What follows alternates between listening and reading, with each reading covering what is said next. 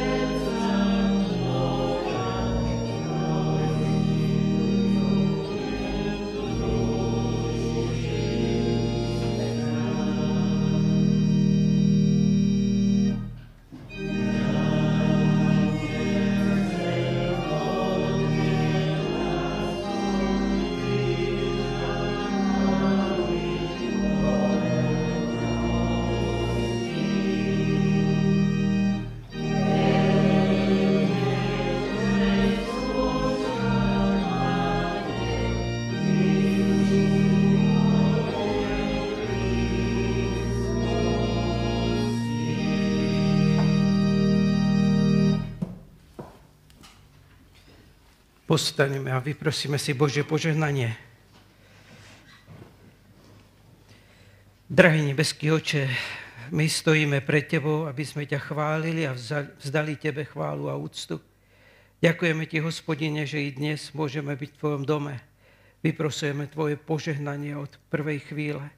Vyprosujeme Tvoju prítomnosť medzi nami, hospodine, Tvoju moc a pôsobenie Tvojho Svetého Ducha. Drahý oče, ďakujeme Ti za to, čo si pred nás pripravil už dnešné ráno. A prosíme ťa, aby naše uši i srdcia boli pripravené prijať Tvoje slovo i oslavu, Pane, ktorú Ti chceme, Pane, spievať a chváliť ťa. A tak nás požehnaj Tvojim požehnaním. O to prosíme. Amen.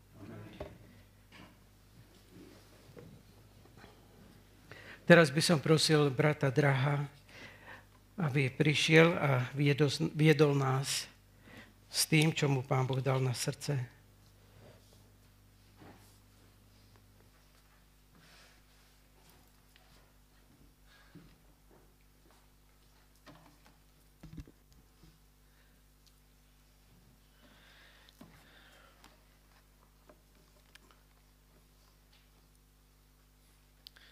Ďakujem Bohu, že tu smiem stáť. Ďakujem za nové ráno, ktoré Boh prikystal pre nás. Nie je to také normálne, ako to berieme.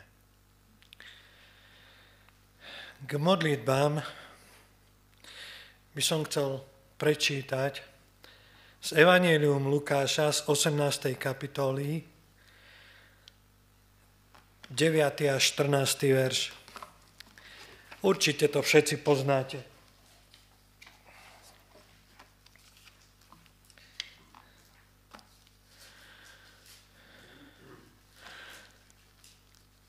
Tým, čo boli presvedčení, že sú spravodliví, a ostatnými pohrdali, povedal pán Ježiš toto podobenstvo.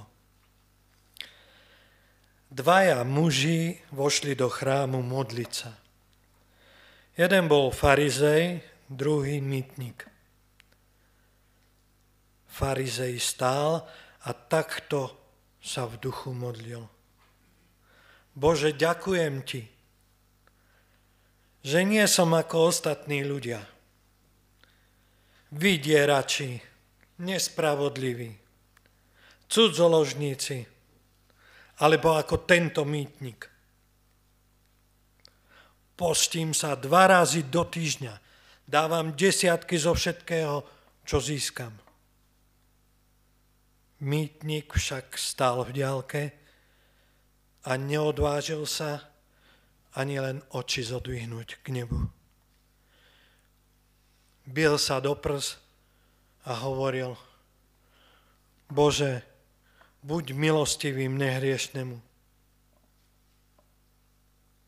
Hovorím vám, tento odišiel domov ospravedlnený a tamten nie.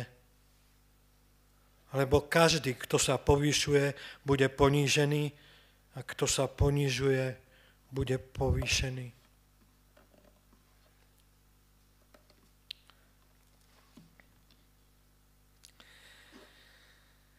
Určite nikomu z vás neušlo dianie, ktoré, ktoré v posledných týždňoch preniklo všetkými médiami. Silné zemetrasenie s magnitúdou 7,8 ktoré zasiahlo juhovýchod Turecka a severozápad Sýrie. Bolo to minulý týždeň, pondelok. Počet obetí presiahol, ja som to pozeral v piatok, 45 tisíc.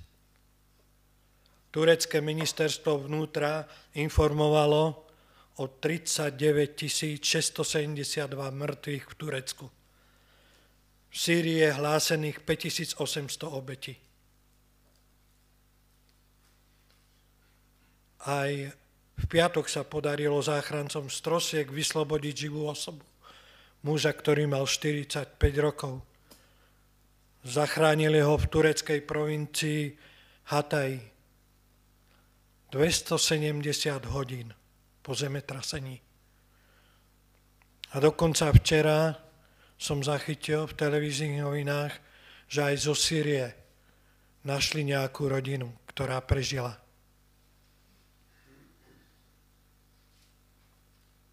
Manželka, muž a dieťa. No to dieťa zomrelo v nemocnici. Generálny tajomník OSN po vyhlásení uviedol, že OSN finančné prostriedky potrebuje na to, aby mohla doručiť humanitárnu pomoc pre 5,2 milióna ľudí. Pre celé Slovensko.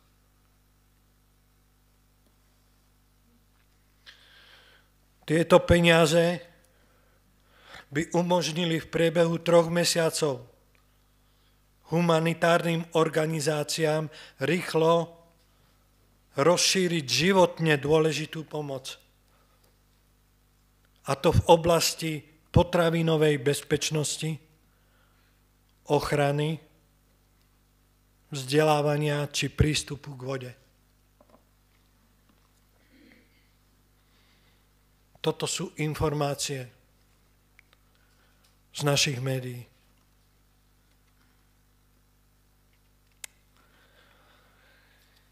Musím sa priznať, že keď som videl túto skazu, vyslovene skazu, premkol ma strach. No, zároveň mi išlo niečo také divné hlavou, presne ako keď farizej sa modlil.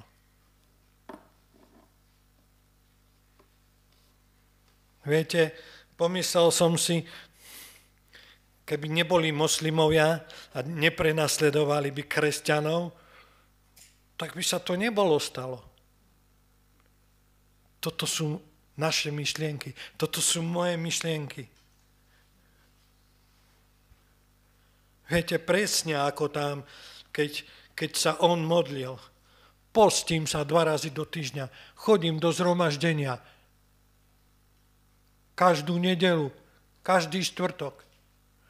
Všetko robím preto, aby Boh bol oslávený. To je všetko nič.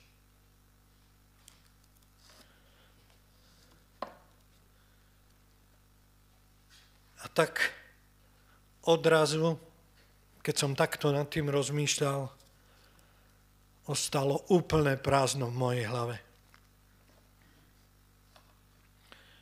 A to preto, aby Boh mohol hovoriť.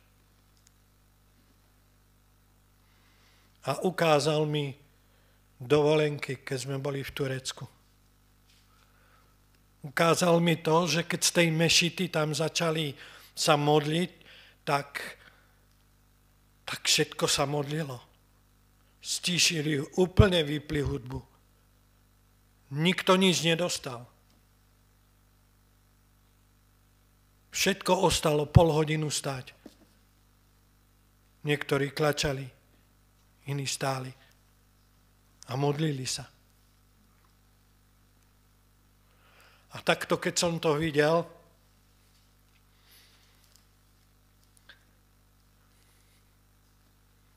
tak som sa rozplakal.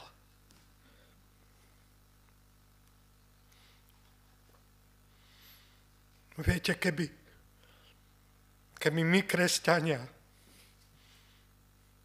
sme sa dokázali modliť pol hodinu každý deň a, a bolo to dva alebo trikrát za ten deň.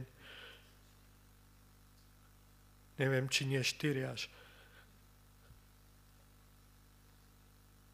Viete, že, že by sa veci začali diať úplne ináč.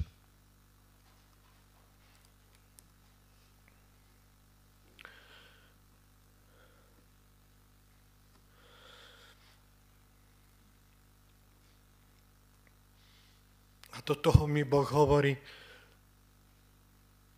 prečo zase súdiš?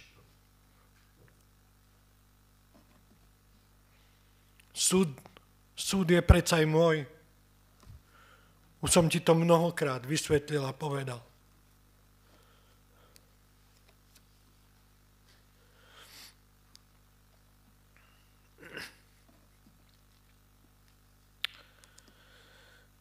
Och. A ďalej mi hovoril, ja som zomrel za všetkých ľudí. Je jedno, akej sú pleti, z akého sú národa.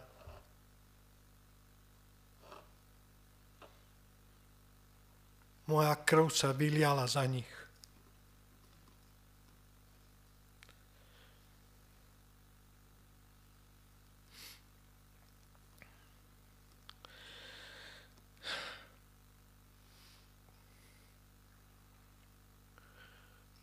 A potom ďalej to pokračovalo. Vieš, toto je moja milosť, ktorá je tu zatiaľ pre vás.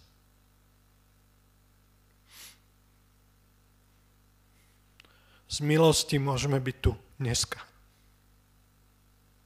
Čo si myslíte, že Boh nemôže zatriasť aj tu týmito potatranskými končinami?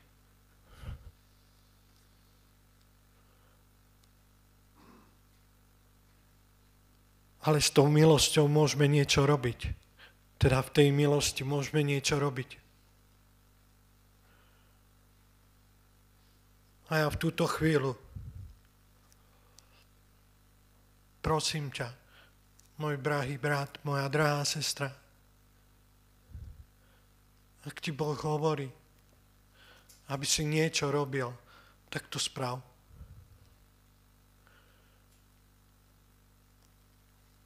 Ak ti Boh hovorí, aby si vyznal svoje hriechy, tak to správ. Ak ti Boh hovorí, aby si sa išiel pokrstiť, tak to správ.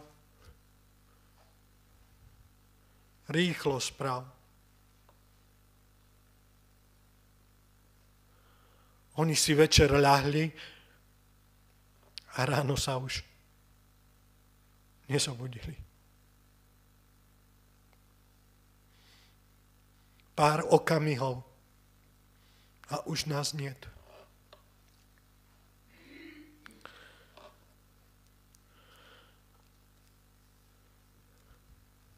Boh ťa ľúbi. A tak aj v túto chvíľu prosím, aby, aby sme sa modlili za, za tieto národy.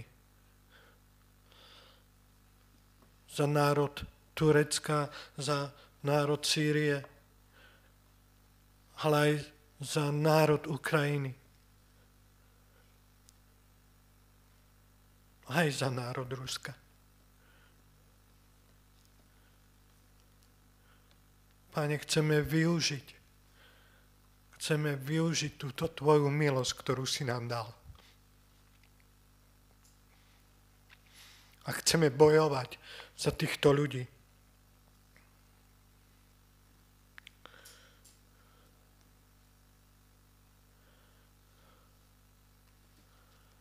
Tak vyprosiť tú milosť aj pre národy, ktoré ťa nenávidia.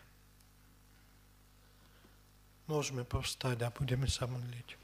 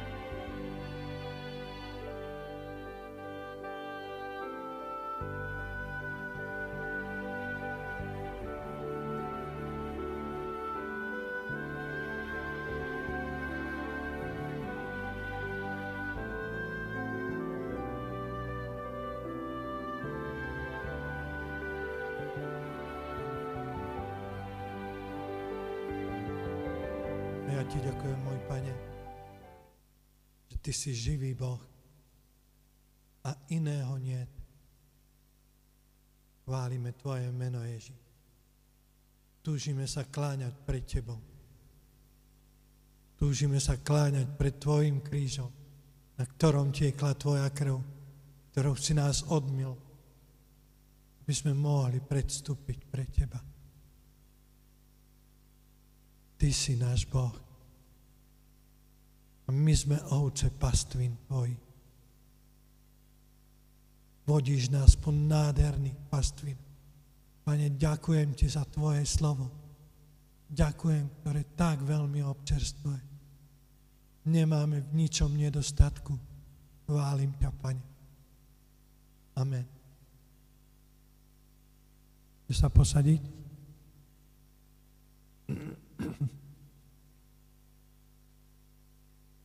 Najskôr to malo byť chválové zhromaždenie, ale musel som posluchnúť a povedať vám to, čo mi Boh dával na srdiečko.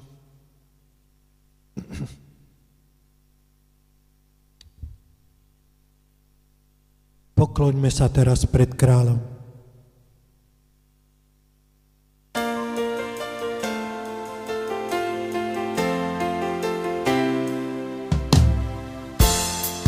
Pokloňme sa teraz pred kráľom, klakníme pred naším stvoriteľom. Pokloňme sa teraz pred kráľom, klakníme pred naším stvoriteľom. Veď on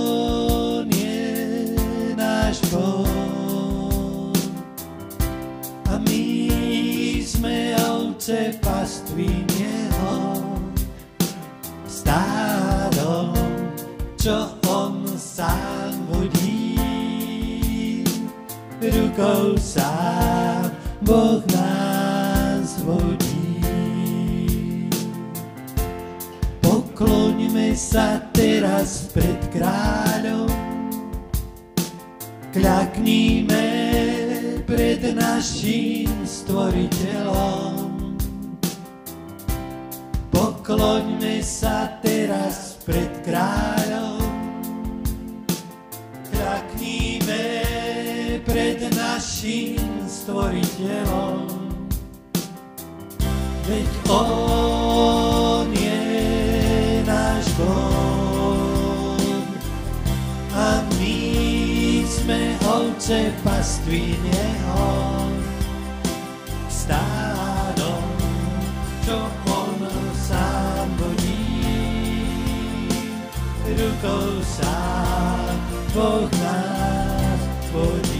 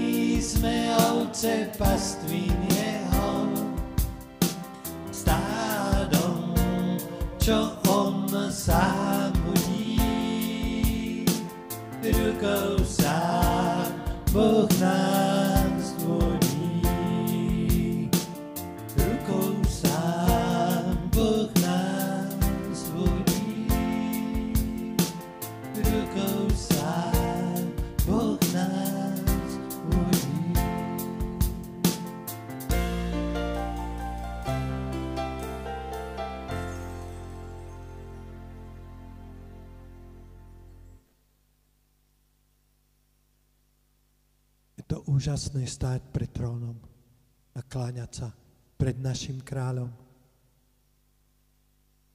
ktorý je tak úžasný. A tu ďalšiu chválu, ktorú by som chcel spievať, tu sme spievali už raz či dva razy. Pod dnes je čas chváliť pána.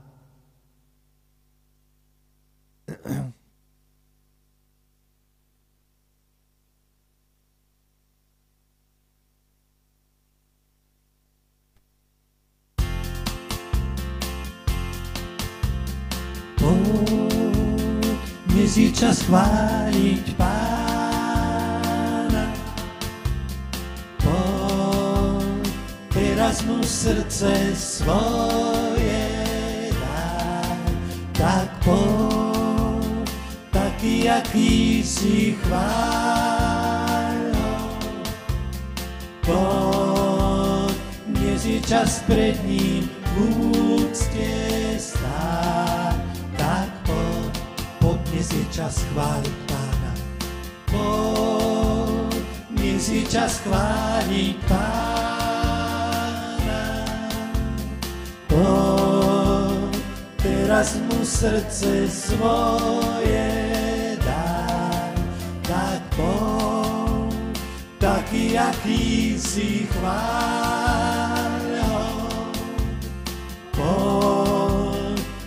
Je čas pred ním úcte stáť, tak poď. Ten, kde každý vyzná, že len ty si pán, pred tebou sa každý skloní. Odmenu si odnesie ten, ktorý si teba sám zvolí. Ten, kde každý vyzná, že len ty si pán, tebou sa každý skloní. Odmenu si odnesie ten, ktorý si teba sám zvolí.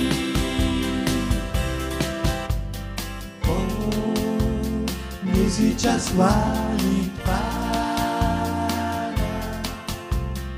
Poď, teraz mu srdce svoje daj, tak taký, aký si chválil. Poď, dnes je čas pred ním úcte stáť, tak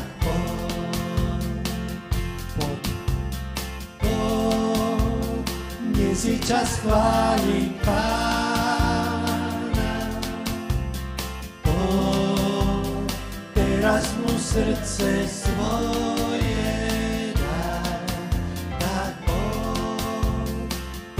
aký si chválil.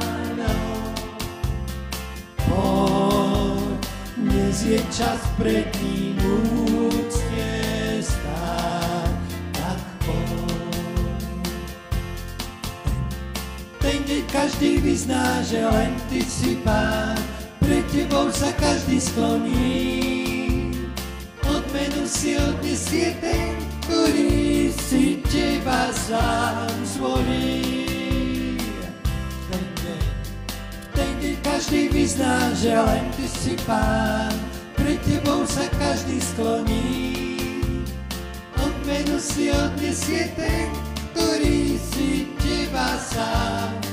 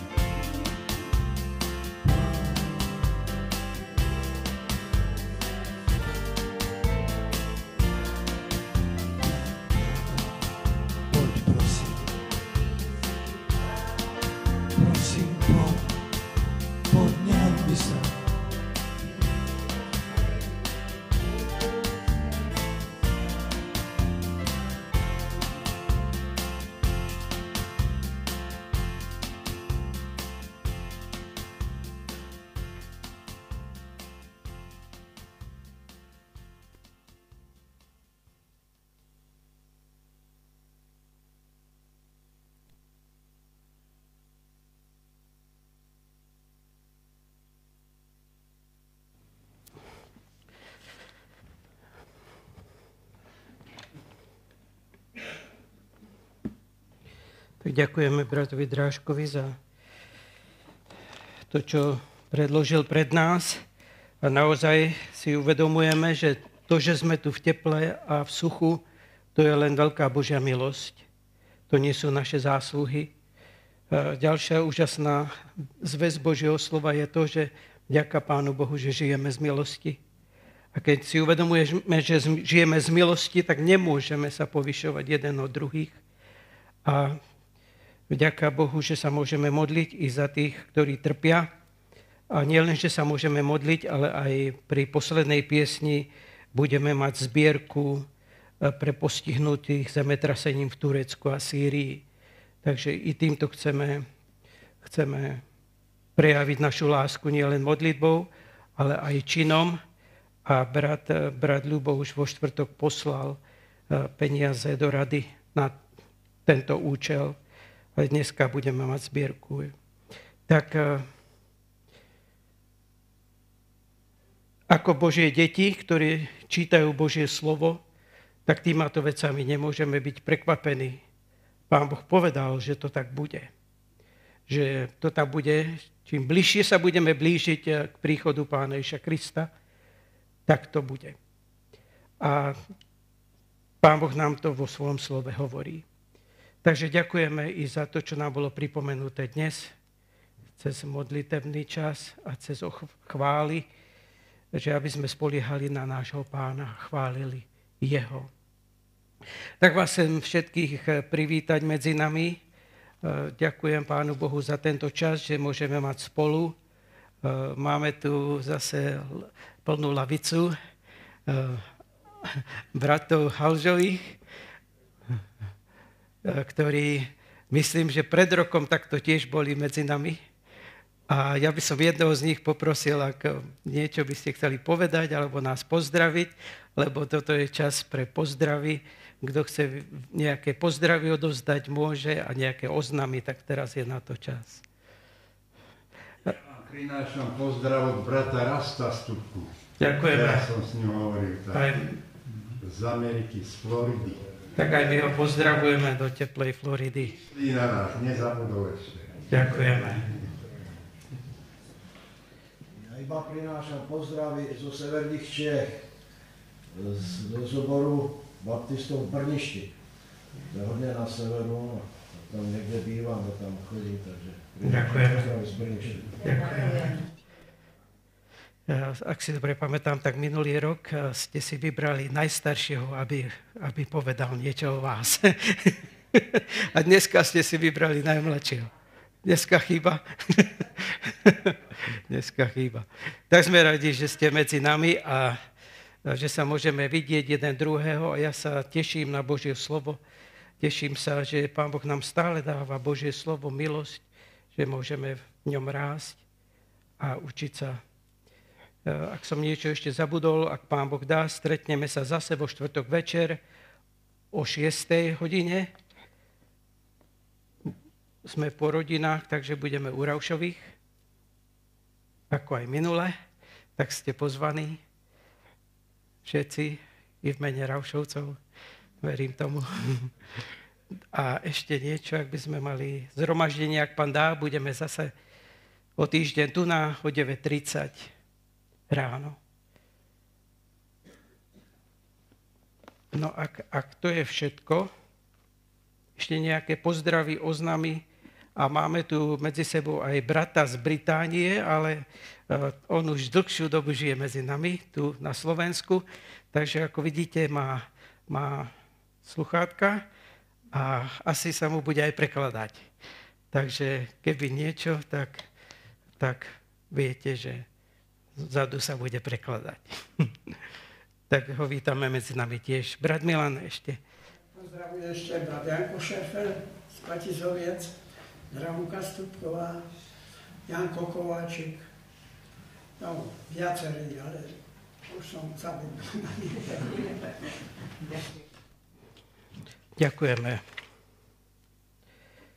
Tak eh, postaneme, prosím vás, a vyprosíme si Božie požehnanie Drahý nebeský oče, Ty nám znova dovoluješ, aby sme otvorili Tvoje slovo, aby sme čítali, čo si pre nás napísal. A tak prosím ťa, pomôž nám dnes vidieť, čo chceš k nám povedať i dnes. Prosím ťa, aby si ty mňa viedol podľa tvojej vôle a podľa tvojej moci.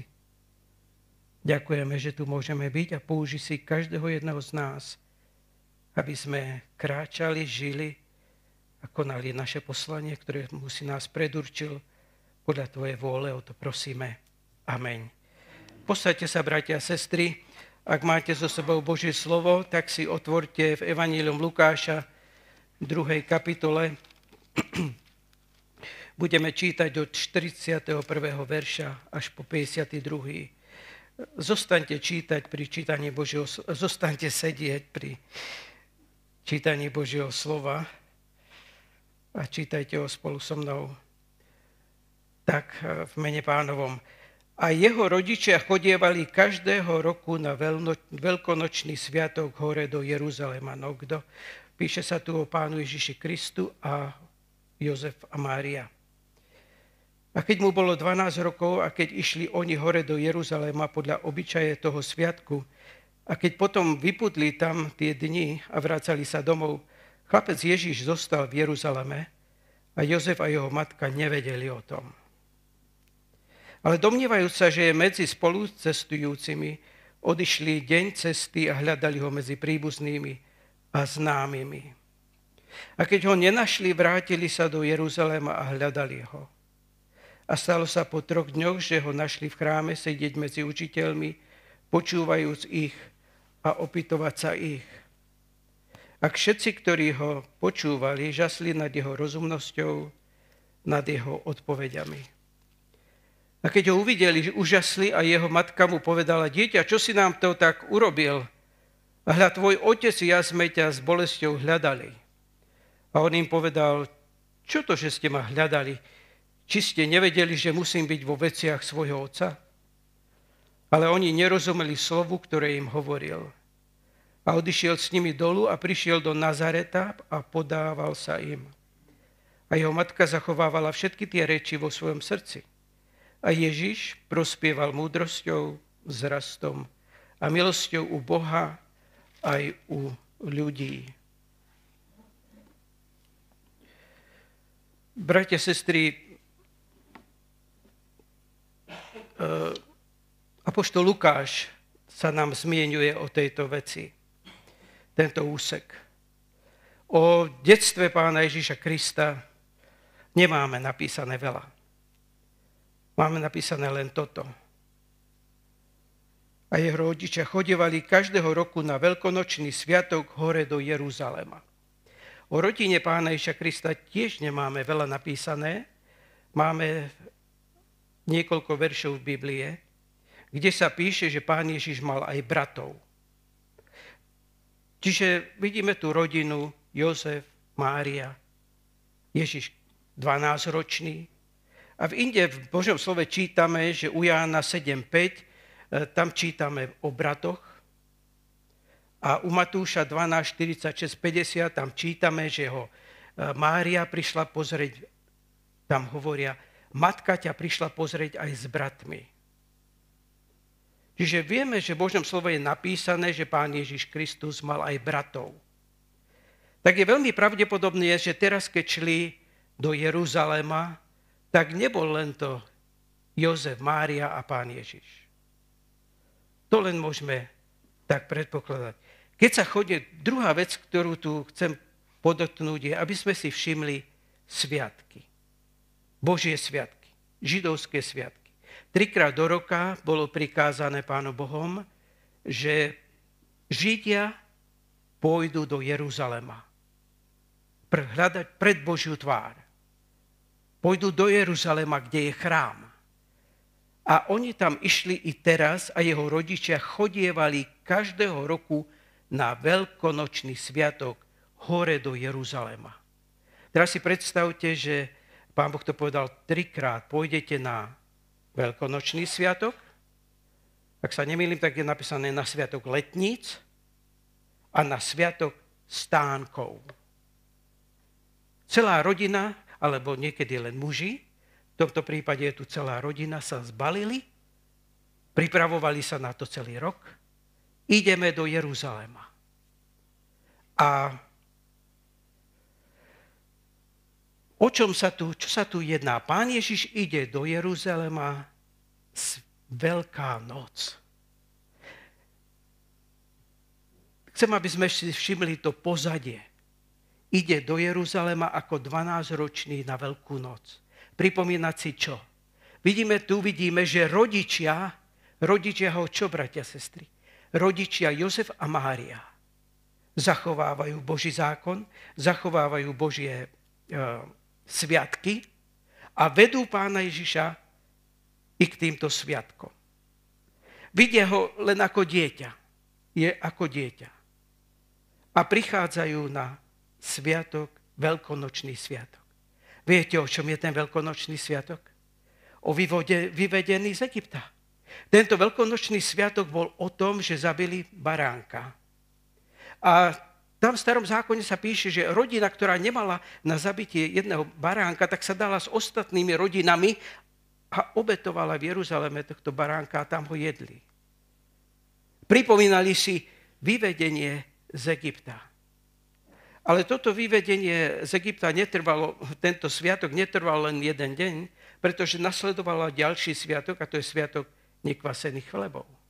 A potom nasledovali ďalšie dni, takže, takže tento sviatok eh, Veľkej noci trval tak 7 až 7 dní. Teraz si predstavte, eh, že Nazareta, oni idú z Nazareta. Ja som si to pozrel, Jeruzalém a Nazaret. Nazaret bol od Jeruzalema asi tak 130 kilometrov.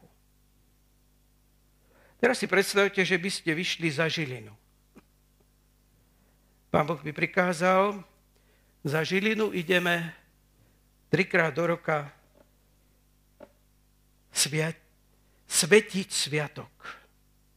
A my by sme povedali, no pane, ale energia zdražela, ten osol nám viacej stojí, než tak prepusti nám, odpust nám, ale na tie sviatky nepôjdeme. Je to tak? Židia sa vôbec tým nezaoberali. Boh prikázal, ide sa na sviatok do Jeruzalema, tak sa ide. Rodiny sa dali dokopy a išli na sviatok do Jeruzalema. Chcem poukázať na to, že koľko to bolo tá vzdialenosť, bratia a sestry. To bolo 2 až 3 dní. A to nebolo vlakom, alebo autom. To bolo peši mnohokrát, s oslaťom. Preto tieto rodiny sa dali dokopy. Išli spolu, necestovali sami. Pán Boh to úžasne urobil a prikázal Židom, aby trikrát chodili za rok, pretože tie rodiny sa museli spojiť.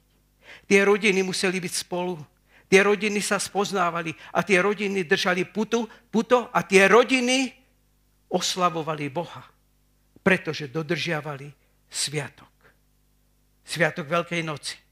Sviatok, kde si pripomínali, že baránok, jedli baránka a jeho krvou si natreli vrch dvier, boky dvier. A oni išli na tento sviatok. Čiže tu vidíme, bratia a sestry, že tu je pán Ježiš, tu je Jozefa Mária ale nie sú sami, sú tu s ostatnými rodinami. Je tu množstvo ľudí, predstavte si, že všetci z Nazareta idú dole, všetci z ostatných idú dole, idú do Jeruzaléma, pretože to prikázal Boh. Teraz sú už v Jeruzaleme a jeho rodičia chodievali každého roku. Nie len, keď im to vyhovovalo. Prikázal to Boh.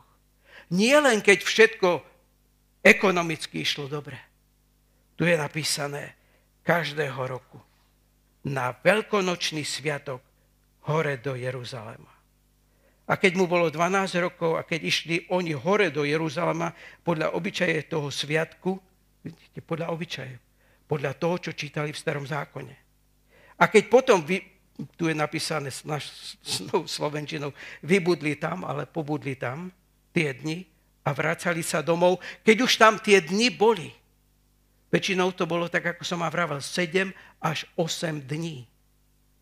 A takže pán Ježiš nebol len ohraničený otcom a mamou.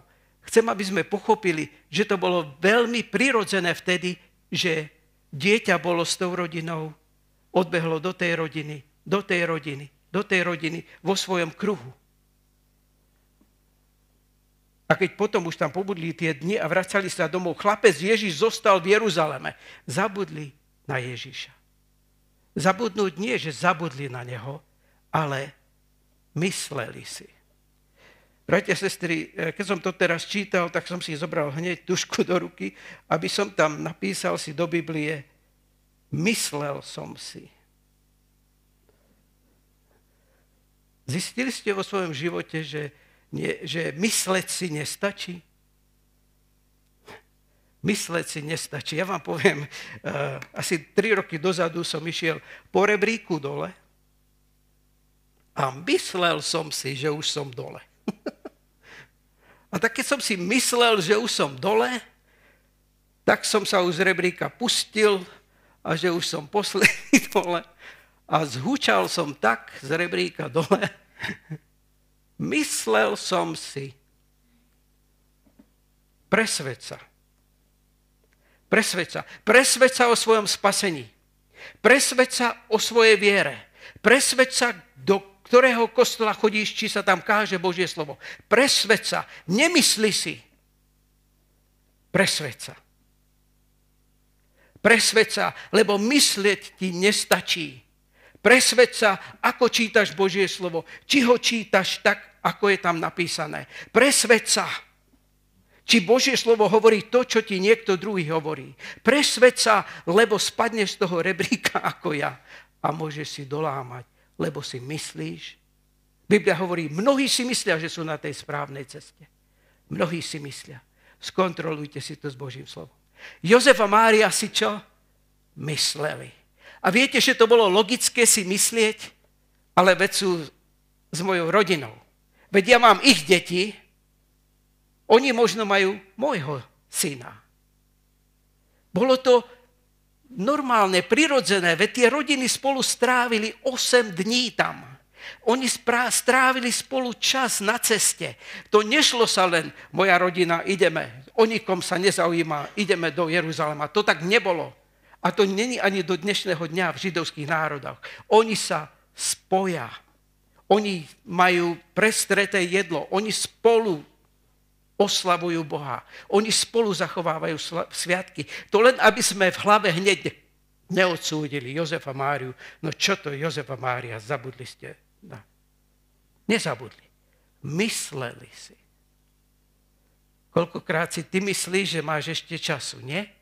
Ešte mám času. Mysleli si.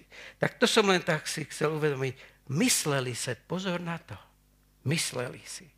Ale oni domnievajú sa, čiže mysleli si, domnievali sa, že je medzi spolucestujúcimi, odišli deň cesty a hľadali, hľadali ho medzi príbuznými a známymi. Ale domnievajú sa, že je medzi príbuznými spolucestujúcimi. Že už prišli na to, že chýba nám Ježiš. A tak išli ho hľadať medzi, ako sme čítali, medzi príbuznými. Medzi príbuznými a známymi.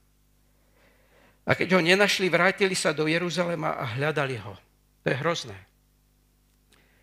Vy, ktorí máte deti, to je hrozné, keď pozriete sa niekde a dieťa tam není. A teraz si predstavte, že oni išli deň cesty, prvý deň zistili, že Ježiš tam není. Potom išli deň cesty naspäť do Jeruzalema a Biblia píše, Božie slovo nám zjavuje, tretí deň ho našli. Mali ste niekedy v detstve miesta, kde ste radi chodievali? Mali ste, mali ste niekde horu, kde ste radi chodievali? Strom, pod ktorý ste radi chodievali? K rieke, ktorú ste radi si tam sadli a chodievali? Ja som ako chlapel mal rád na, haj, na, tam, kde je tá vojenská chata. Na Kaleník, vidíte? Rád som chodieval na Kaleník, pretože to bolo povyššie Vavrišova na Kopčeku a tam som videl celé Vavrišovo. Niekde radi chodievate. A viete, kde pán Ježiš, kde ho našli? V chráme. V chráme. To bola jeho prírodzenosť. My nesmieme zabudnúť, že pán Ježiš Kristus je tu 12 ročný, je tu ako dieťa, je tu, není tu dieťa, je tu 12 rokov. to je už veľa. Ale zároveň vy ho vidíte ako chlapca. Ale on není chlapec, on je Boh. Biblia nám hovorí, je to Boh a zároveň je to syn človeka. Je to človek a zároveň je to Boh. Je to človek a zároveň je to Boh. A Boh dovolil, aby jeho syn Boh Ježiš bol podopaterou Jozefa a Márie do určitého času.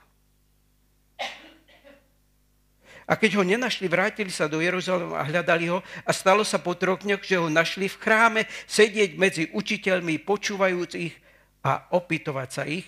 A všetci, ktorí ho počúvali, žasli nad jeho múdrosťou a nad jeho odpovediami.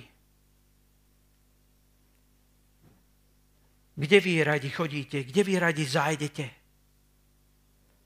Bez rodičov. Kde ste sami? pán Ježiš zašiel do chrámu. A viete, ja keď som si toto čítal, tak som si uvedomoval, je to mladý chlapec, ale je to Boh. A oni zobrali tohto mladého chlapca a zároveň Boha na sviatok baránko. Pascha. Vyvedenie z Egypta, kde jedli baránka a pripomínali si, že krvou natreli tieto dvere. A tu zobrali pána Ježiša Krista každý rok, ktorý je Boh a Boh vie, bratia a sestry, vie Boh o budúcnosti? Vie. Predstavte si, že na, na Sviatok Veľkej noci je tam Ježiš, ktorý vie o budúcnosti. Mám 12 rokov. Ale v 30 rokoch za chvíľu uvidíte, že to, čo hovorím, si nevymýšľam. Lebo tam v Biblii je napísané, ja vám tam, tam hneď prevediem, aby ste vedeli. A on im povedal, čo to, že ste ma hľadali? Či neviete, že musím byť vo veciach svojho otca? Ja musím byť vo veciach svojho otca. Mária Jozef, nepamätáš si, že keď sa narodil, čo aniel povedal? Dáte mu meno Emanuel, znamená Boh s nami. Mária, Jozef, nepamätáte si, čo povedal aniel? Že on zmie hriechy tohoto sveta? Mária, Jozef, nepamätáte si, že, o, že povedal, čo povedal aniel? Narodil sa vám dnes spasiteľ, Kristus Pán, spasiteľ. A pán Ježiš hovorí, Mária, Jozef, prečo ste ma hneď nenahľadili? Ja musím byť vo veciach môjho otca. Ja som tu na to, aby som konal vôľu môjho otca. A vôľa môjho otca bola, aby som bol povesený na kríž, vzal hriechy tohoto sveta a tretieho dňa stal z mŕtvych.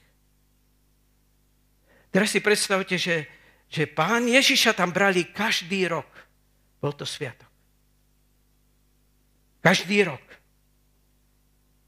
On je Boh. Povedal, ja musím byť vo veciach svojho otca. To znamená, že vie, vedel o budúcnosti. Dokonca tu čítame, že s učiteľmi zákona debatoval. Debatoval o čom? No o starom zákone. Debatoval o čom? No a, a, o Abrahámovi. Skrze teba mi vyjde spasenie. Debatoval o čom? No o čom? No o Dávidovi. Že skrze Dávida príde kráľovstvo. Príde král. O tom všetkom debatoval 12-ročný. Viete, keď som toto čítal, tak som si hovoril, pane, ako dobre, že nevieme budúcnosť. Že ty si nám nedal, aby sme vedeli budúcnosť. Ježiš vedel budúcnosť. Viete, eh, v decembri mi prišiel povolávací rozkaz na vojnu. V decembri. V januári som narukoval do Lovosice, Litomieržice. 5 mesiacov predtým som tam bol s priateľom na návštevu u jeho známych. Vy, ktorí ste, poznáte to okolie Lovosice, Litomiežice, tak viete, že tam je taký kopec, brat. Tam je taký kopec a na, kom, na tom kopci je kríž. Hovorím pravdu, hovorím. A títo, títo známi, títo priatelia môjho priateľa, táto rodina ma tam zobrala, aby sme šli na ten kopec a pozreli sa na tú krásnu prírodu z toho kopca. No tak bol som tam v tričku ako turista. 5 mesiacov neskôr som narukoval a viete kde? Litomiežice. Lovosice Litomiežice. Dali nám plynové masky, zavezli nás po ten kopec a ja som si spomínal, pane, veď som tu bol pred piatimi mesiacmi v tričku a teraz som tu v maskášoch a v plynovej maske. A ten veliteľ povedal, kto posledný dobehne po ten kríž, beží ešte raz. Ste mali vidieť, ako všetci odštartovali, aby neboli poslední. A tak sme bežali po ten kríž. V maske, v takej maske, kde by sa človek zadusil, aj keby nebol chemický poplach. Niektorí to poznávate. Všetko sa zahmlievalo, bežali sme do kopca ako diví, lebo nikto nechcel byť posledný, až sme prišli, viete kam? Pod kríž. Pod kríž. 6 mesiacov predtým som tam bol v tričku ako turista. Po 6 mesiacoch som tam bežal v plynovej maske. Kto by mi to bol povedal 5 mesiacov dopredu? Že mi da, dajú plynovú masku, ja tam budem bežať. Veď eh, asi by som si tú budúcnosť už rozmýšľal o tom. Pán Ježiš bol človek, a zároveň bol Boh. Náš Boh, náš Pán Ježiš Kristus vedel všetko. Prišiel pred zákonníkov, prišiel pred farizeov, rozprával sa s nimi, učil ich, oni mu kládli otázky, on im kládol otázky. A potom príde Jozef Mária ako rodičia a prirodzenou cestou mu povedia, ako mu povedali,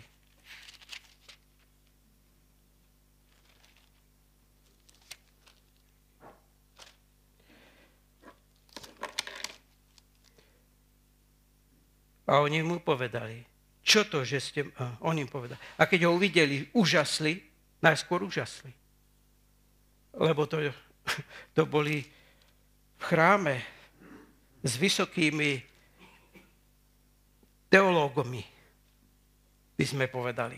A keď ho uvideli, úžasli a jeho matka mu povedala, dieťa, čo si nám to tak urobil? Hľa tvoj otec i ja sme ťa s bolesťou hľadali.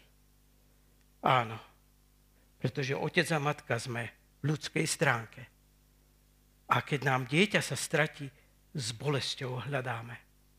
Ale pán Ježiš im tu jasne chce ukázať rozdiel. Vidíte ma ako dieťa. Ale ja nie som dieťa. Som Boh. A tam je ešte ďalej. Či ste nevedeli, že musím byť vo veciach svojho otca? Keby myslel pozemského otca, tak by bol tesárom. Ale on je v očiach Boha Otca. Pripomenul im to Mária Jozef. Či nepamätáte na anielov? Či nepamätáte na pastierov? Či nepamätáte na mudrcov? Či nepamätáte na aniela Gabriela? Ja musím byť vo veciach svojho otca. A tu vidíte, tu vám chcem ukázať dva kontrasty. Ako dneska nám na modlitbe bolo povedané dva kontrasty. Prvý kontrast je odsúdiť a druhý kontrast je ponížiť sa. Prvý kontrast bolo zaslúžia si to. Alebo, alebo No keby mali pána Ježiša, tak by to nerobili. Alebo nebolo by sa im to stalo. A druhý kontrast bolo, že majú byť ľudskí. Máme byť ľudskí. Pomáhať. Pokoriť sa. Ponížiť sa. A tu, pán Ježiš, si všimnite. Tu je úžasný príklad. Mária Jozef. Ja musí byť vo veciach svojho otca. A ďalší príklad je, Lukáš nám to tu píše, aby sme sa nepomýlili, že tu je Pán Ježiš Kristus, že hovorí niečo s drzosťou. Viete, že mnohí ľudia ten, tento výrok mnohokrát použijú. Ja musím byť vo veciach biblických, duchovných. Zneužijú tento výrok.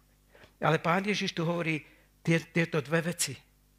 Ja musím byť vo veciach svojho otca a tu si všimnite, čo Lukáš zaznamenáva. Lukáš, aby nikto jeden z nás sa nemýlili, že Pán Ježiš je tu povýšenecký. Ja musím byť vo veciach svojho otca. Čo vy mi tu, Mária a Jozef, máte čo hovoriť? Ja mám otca v nebesiach, ja musím byť vo veciach svojho otca. Aby sa tu nikto nepomýlil, tak Lukáš tu dodáva a čítajte so mnou. A odišiel s nimi dolu a prišiel do Nazareta, a podával sa im. Podával znamená, bol poslušný. Bol poslušný. Vidíte ten veľký kontrast? Ja mám Otca v nebi. Ja viem starý zákon. Ja viem, na čo som tu poslaný. Jozefa Mária. Ja by som vás mohol učiť. Ja by som vás mohol učiť, aby ste žili podľa Božej vôle. Ja by som vás mohol učiť, ako klásť ruky a uzdravovať chorých. Ja by som vás mohol učiť. Ja by som vás mohol napomínať.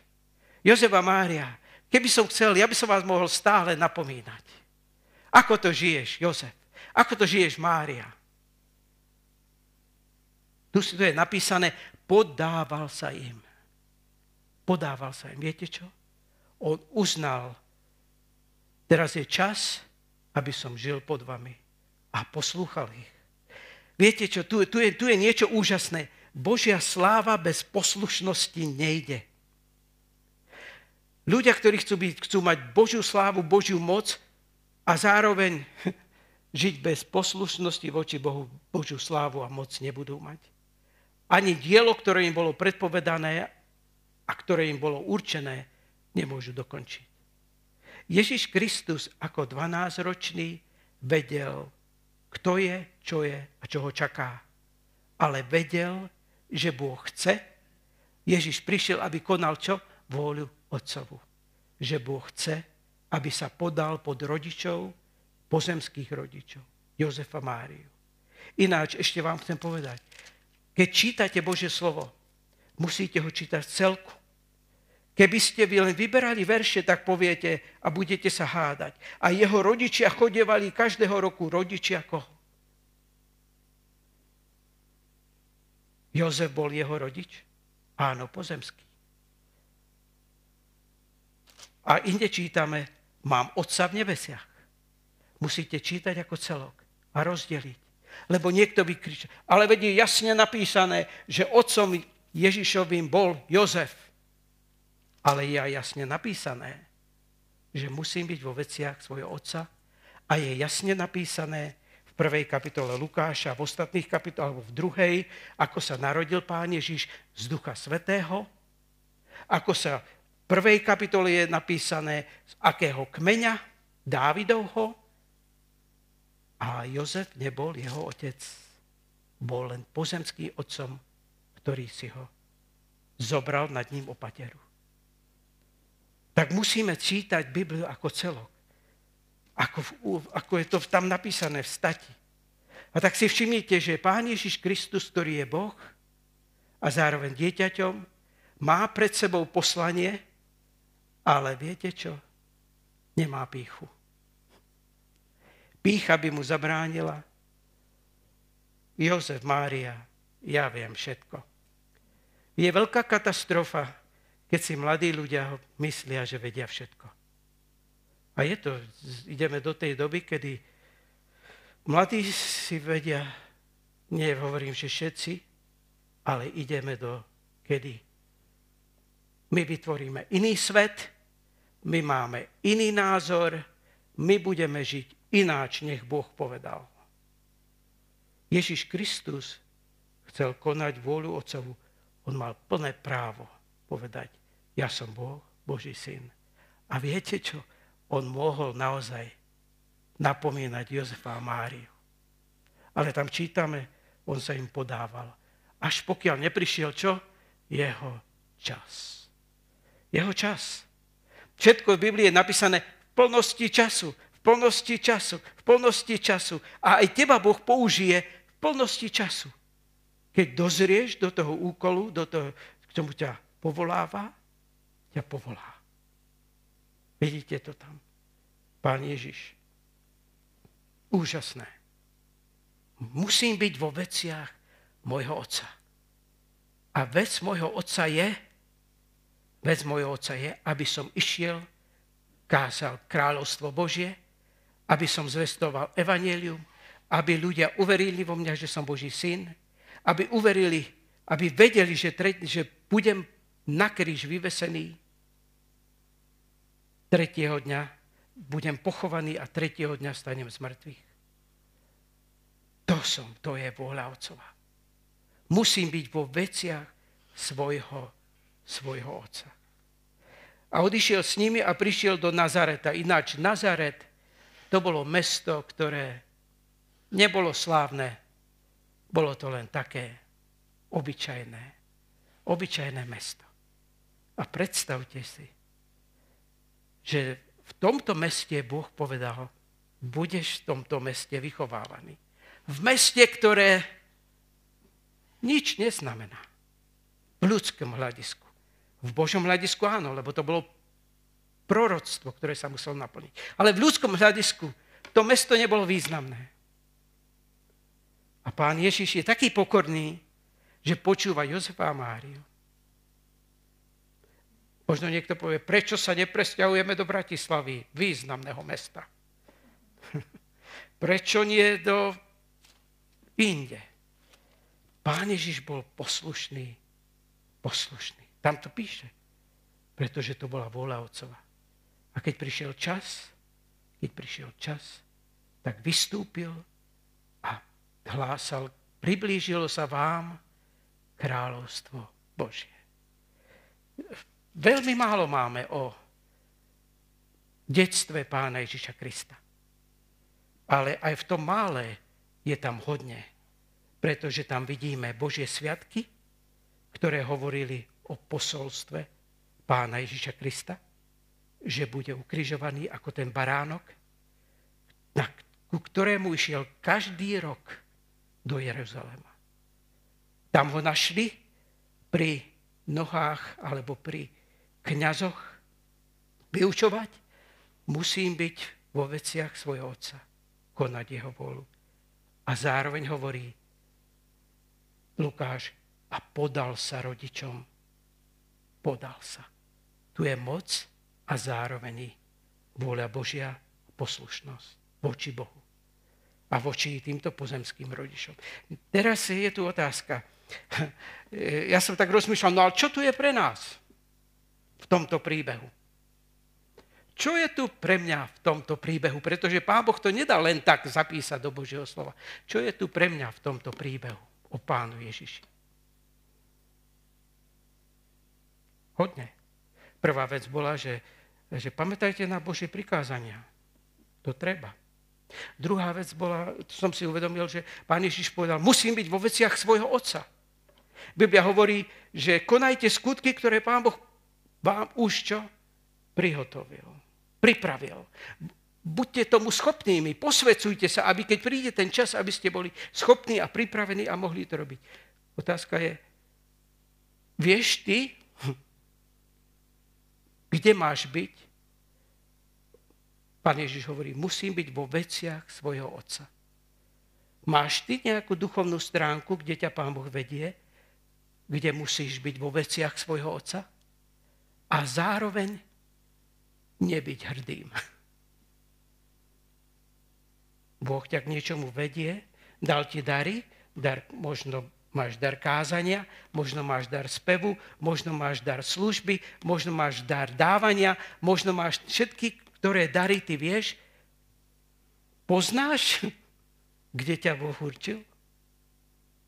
A keď ťa určil do toho a ty ho poznáš, ako pán Ježiš Kristus povedal, ja musím byť vo vesiach svojho otca a zároveň sa vedel podať Jozefovi a Márii, to je otázka, pane, keď už viem, k čomu si ma a kde mám byť, som dostatočne pokorný na to, aby som to mohol konať a vedel sa ti podať.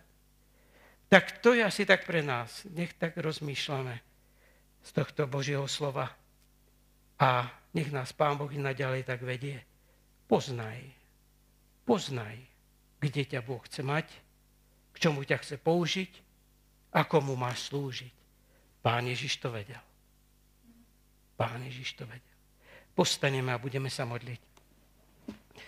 Náš nebeský oče, ďakujeme ti za tento úsek, kedy sme sa zamýšľali na tom, ako si ty tu žil na tejto zemi. 12-ročný oče a poslušne si šiel dva a pol dňa možno peši cestou na sviatky, pretože to bola vôľa Otcova. Vedel si o tom, že jedného dňa ty budeš tam na kríži a tvoja krv bude vyliata za naše hriechy. A zároveň, Pane, ako Boh a Pán, si sa vedel podriadiť aj Jozefovi a Márii, ktorí podliehali hriechu.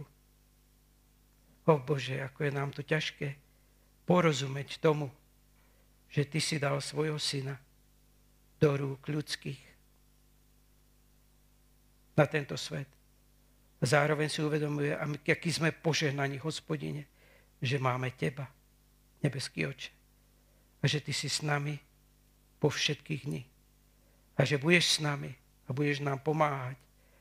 A prosím, uschopni nás, oče, aby sme aj my vedeli žiť ako Pán Ježiš. A vedeli aj pomáhať druhým. O to prosíme. Amen. Amen. Posaďte sa, milí bratia a sestry. Na záver budeme spievať pieseň v každej chvíli, číslo 287. Počas tejto piesne bude vykonaná zbierka, ktorá pôjde na, na situáciu a na pomoc postihnutým v Turecku a na Sýrii. Tak eh, spievajme túto pieseň v každej chvíli a potom ukončíme požehnaním.